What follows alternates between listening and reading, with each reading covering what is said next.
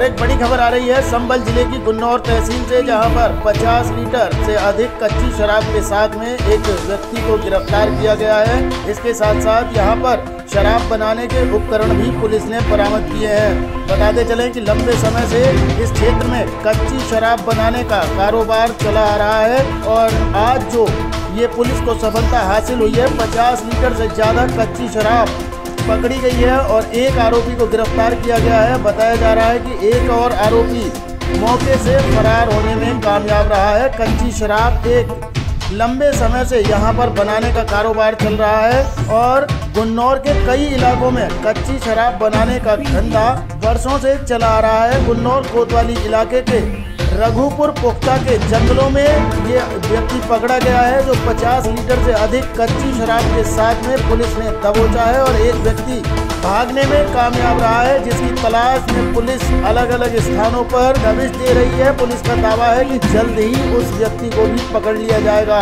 साथ साथ आपको बताते चले कि कच्ची शराब से कई स्थानों पर तमाम लोग मौत के आगोश में जा चुके हैं, लेकिन इसके बावजूद भी ये धंधा रुकने का नाम नहीं ले रहा है। और बड़ी खबर ये इसी के साथ, संबल ज़िले के गुन्नौर इलाके से है। यहाँ पर कच्ची शराब के साथ में एक व्यक्ति पकड़ा गया है और एक व्यक्ति भागने में कामयाब रहा है। तो वहीं आबकारी विभाग को भी इस तरफ़ ध्यान देना होगा कि जिन इलाकों में कच्ची शराब बनाने का धंधा चल रहा है, उन इलाकों में इसे रोकने के पुख्ता इंतज़ाम किए जाएँ। साथ साथ पुलिस को भी इस मामले में सतर्क रहना होगा, क्योंकि कच्ची शराब एक शहर से भी ज़्यादा खतरनाक होती है।